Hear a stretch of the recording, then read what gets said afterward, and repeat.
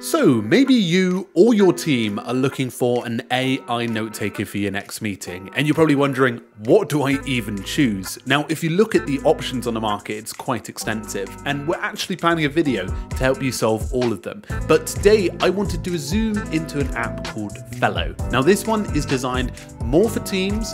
I wanted to unpack it, see what features it offered in terms of their abilities with AI, reducing administration, and that sort of elements and we're going to really just understand it from all aspects. So without further ado, let's roll into today's video. So Fellow is really targeted towards teams and I won't touch on pricing till the end because I think whilst it's important, I wanted to talk about it a little bit later as we unpack the pros and cons of this. But the first thing I'll talk about is the ability to download it. You can access this one through web and then you can also download the desktop and mobile apps, which does make it more accessible than some of the other options on the market. So, as I said, this one's much more designed for teams, but you can get an individual pricing if you want. And what it wants to do is help with the three elements of a meeting the pre planning, the in meeting experience, and the post meeting. So, all that administration, action items, and even automations that you might need to do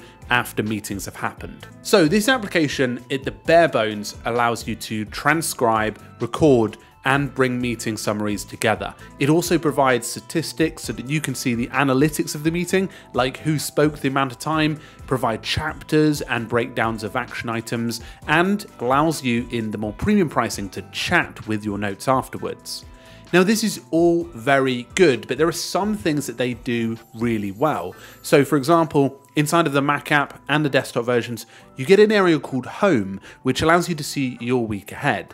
Now, the benefit to this is you can actually create meetings from here, then automatically generate a Google Meet, Zoom, or Microsoft Teams link, depending on what you've connected to your account.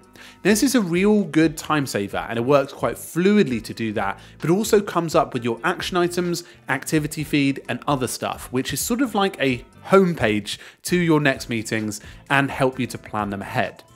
The other thing I quite liked about having a desktop app was the companion experience. Now you can get this through the Google Meet landing page, which means it will pop up on the side, meaning you can add your notes during the meeting, but there was a companion mode that snapped to the right hand side uh, whilst I was doing a meeting, which was really, really helpful. So apparently Fellow have a few more special elements to it, and there's a feature in the enterprise plan called redaction. So you probably won't get it as part of the basic or the premium pricing. It's much more for bigger teams, but the ability that is more unique to Fellow is that you can redact certain parts of the meeting, which means that that recording element is destroyed essentially as part of the content when you come back to taking your notes. So I wanted to zoom back to some of the elements with the pre-meeting. So one of the things that it does is help brief you before you go into the meeting. If you're meeting somebody new and you have their email address, it'll potentially bring up the insights that it has available to that person, where they work, and a little bit more background information, which is pretty helpful.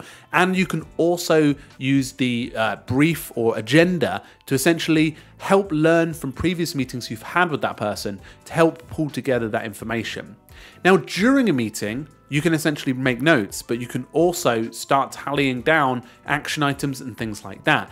And after the meeting, it doesn't just sort of go away. You can actually assign stuff to other people, meaning that they can see the things that are assigned to them, which essentially becomes a to do list experience if you are using this and spend a lot of time in meetings. So, all in all, this application really impressed me. I particularly like the desktop apps because not many of these AI note takers have this type of experience that consolidates everything as one location, which actually was very accessible and worked very well in the test I put it through.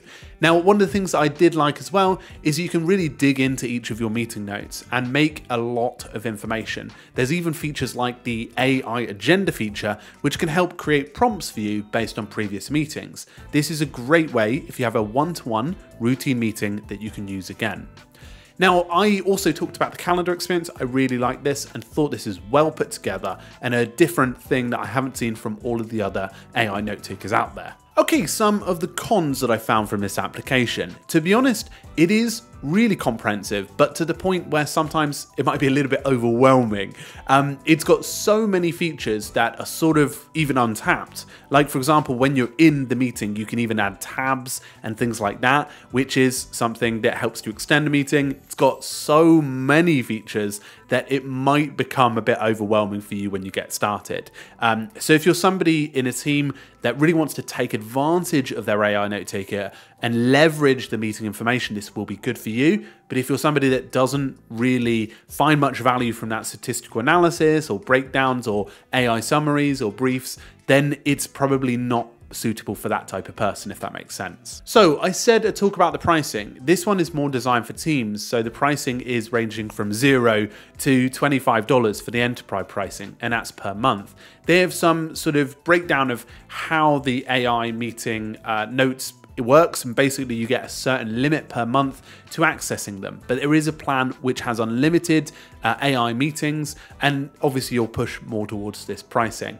The other thing as well is you can get an individual user, great for freelancers or marketing agencies that are smaller in nature. Um, but you do need three people to start a team that goes beyond the pricing. And for an individual user, you can jump on, but the pricing is relatively high for that, like many of them for solo users. So with Fellow, it seems that I'm presently presently surprised, pleasantly surprised. I was impressed with how it was put together, and I think the standout things uh, above some of the other features that others deliver is the desktop experience and the fact that you get a robust homepage. That was really nice to enter and start using and be able to bring it into a meeting. Adding it to a Google Meet or a Zoom was quite easy, and having the recording was also nice as well. It wasn't forced into your meeting, which some of them can be, but an easy way to just add them quickly. I could also pause and do all the regular stuff that I expect and have that companion mode to be able break down.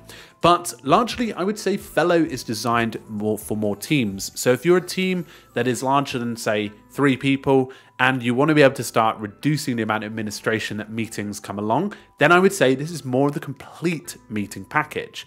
Because what it tries to do is house that pre, in and post meeting experience that you don't and might not get from other AI note taking apps. So that was my review of Fellow. There are many more of these and I'll be diving into lots and lots of them. So if you're interested, please do subscribe and check out the links below because maybe by the time you're watching this video, you'd like to explore more of them or you're just researching and, and want to hunt further. So thanks so much for stopping by. I look forward to helping you in a future video and cheerio for now.